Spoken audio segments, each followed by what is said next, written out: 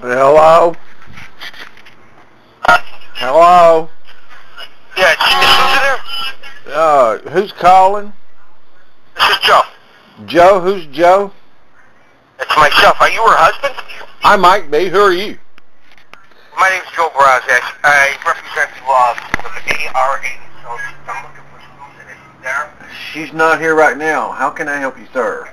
Are, are you her husband? I may not be. Who are you? What do you need? Okay.